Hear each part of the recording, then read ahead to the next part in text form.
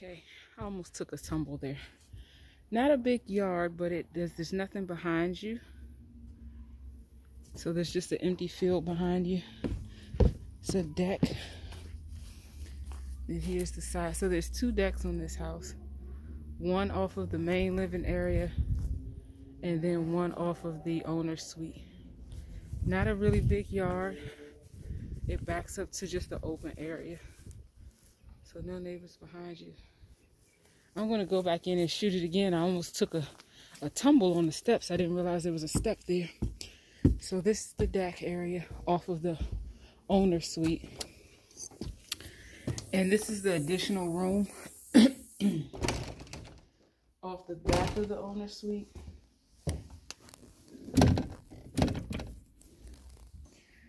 And there's a nice bright room, high ceilings. Nice floors in here, and they're using it for business, but it'll be a nice sitting room area. Here's the owner's suite.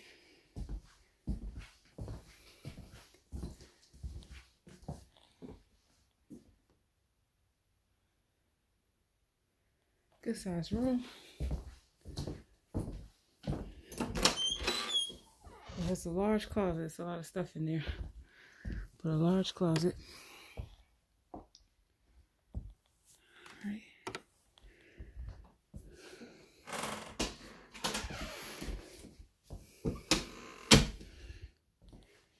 This is the only suite bath. Has a large tub and shower combination in here.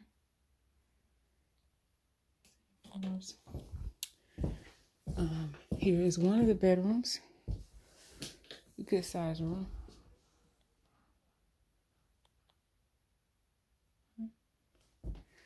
And then here is the shared bathroom.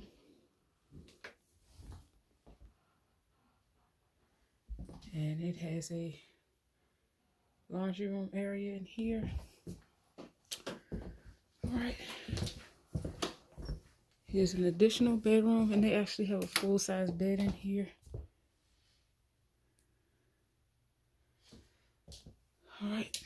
And then here is your living room, dining room combination. And then outside that door, they also have an additional deck there that I showed you from outside.